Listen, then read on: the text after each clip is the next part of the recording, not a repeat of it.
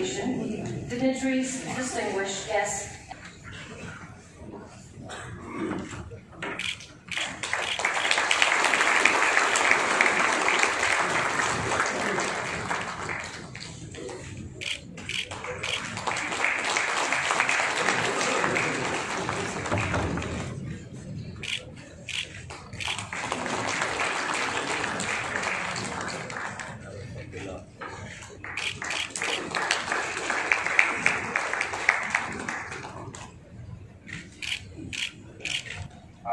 extend my heartiest welcome and greetings to you all and being present here. I would like to socialist, secular, democratic, republic, and to secure. To all its citizens. Justice, social, economic, and vertical.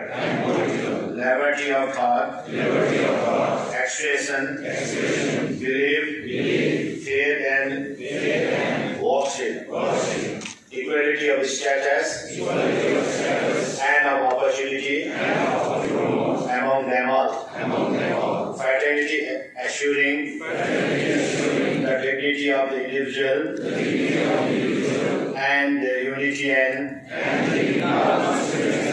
26th day of November 1949 do hereby adopt, enact, and give to ourselves this constitution. Thank you. नीति के गर्नुपर्ने हाम्रो duty पनि हामीलाई दिएको छ तर हामी सबैले जानेर हामी आफ्नो कर्तव्यलाई नहेरेर आज हामीले हाम्रो मात्रै हेर्छौँ कि मैले के पाउनुपर्ने मेरो अधिकार के छ मेरो संविधानभित्र के छ मेरो राइट्स के छ भन्नेमा हामी बेसी बढावा दिन्छौँ त्यो आज सिक्किममा पनि प्रायः जस्तो हामी पाउँछौँ त्यसैले गर्दाखेरि आजको दिनमा हामीलाई विशाल भारत देशको संविधानले हामी सबै सबै नागरिक नागरिकहरूलाई सबै धर्महरूलाई सबै जातिहरूलाई सबै समुदायलाई हामीलाई बराबर अधिकार दिएको छ भनेदेखि आजको दिन हामी सबैजनाले ग्रहण गरौँ।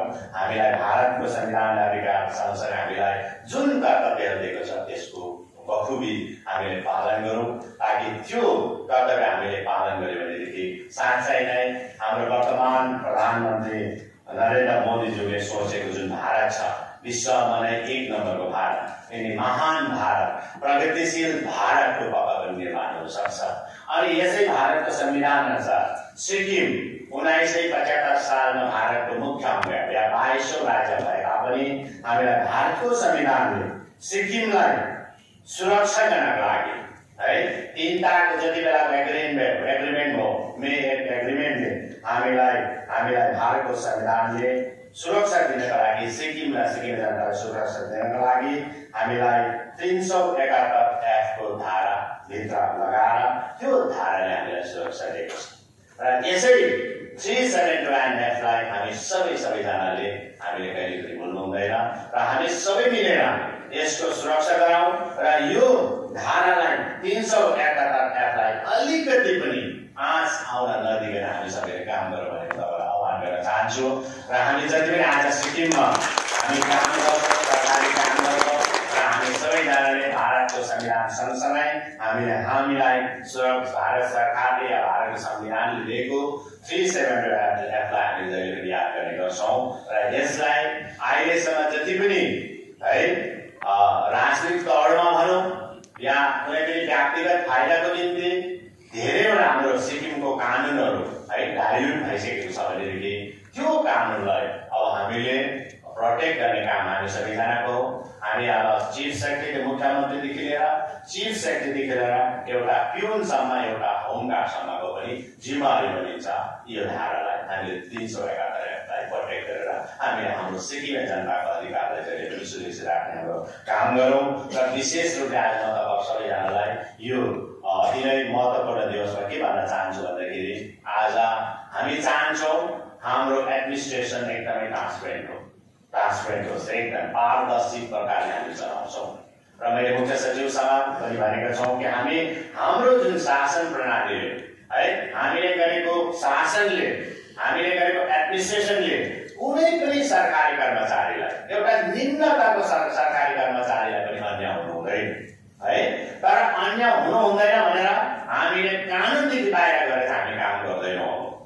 एकदमै। कानुनदेखि बाहिर गएर या कानुनलाई नै तोडेर जुन प्रकारले पहिला है है पहिलाको सरकारमा भयो है धेरैवटा कानुन तोडेको छ है नहुने कामहरू पनि भइरहेको छ र आज वर्तमानमा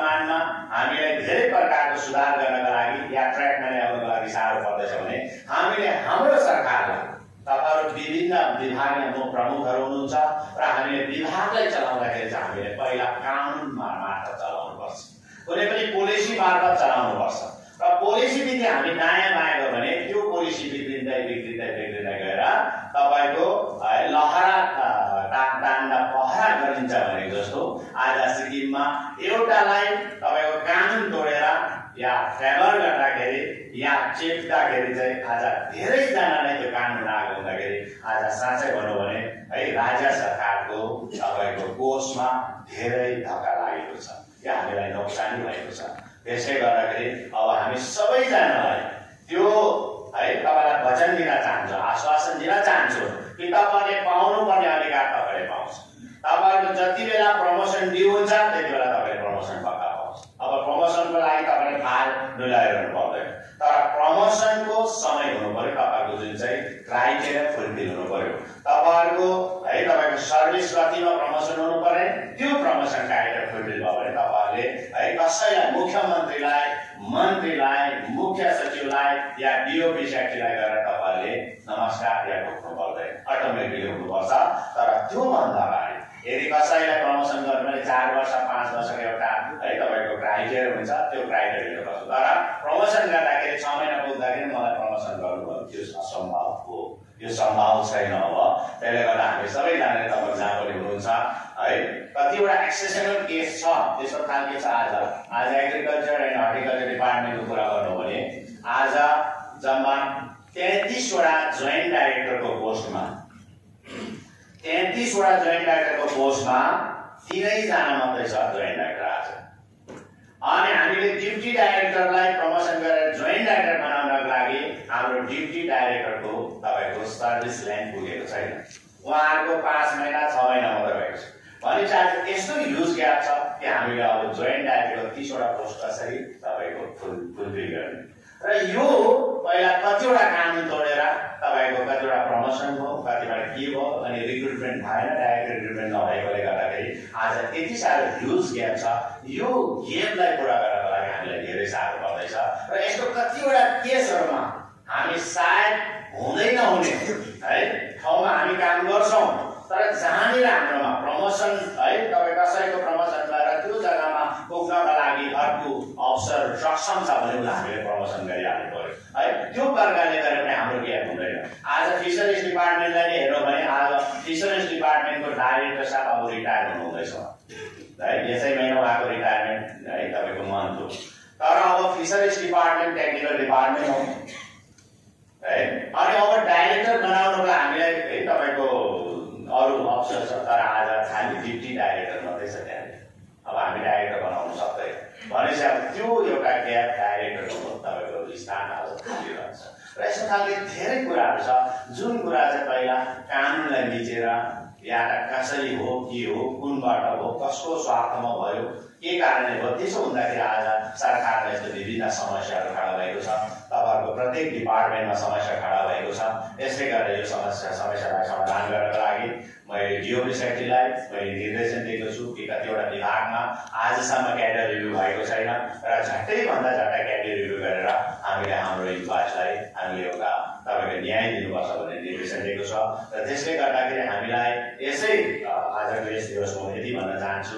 हामीलाई जुन प्रकारले भारत देशको संविधानले हामीलाई अधिकार दिएको छ भने हामी सबैजनाले आफ्नो आफ्नो पदमा जहाँ पनि छौँ चाहे पिउनमा होस् चाहे तपाईँको सचिव पदमा होस् चाहे मन्त्रीमा होस् चाहे मुख्यमन्त्रीमा होस् हामीले सोचौँ कि हामीले मेरो जग्गाबाट मेरो आफ्नो स्थानबाट मैले राम्रो काम गरेँ भनेदेखि भारतको संविधान अन्तर्गत मैले काम गरेँ भनेदेखि कानुनन रूपले मैले काम गरेँ भनेदेखि मैले मेरो देशको लागि केही दिँदैछु भन्ने सोच्नुपर्छ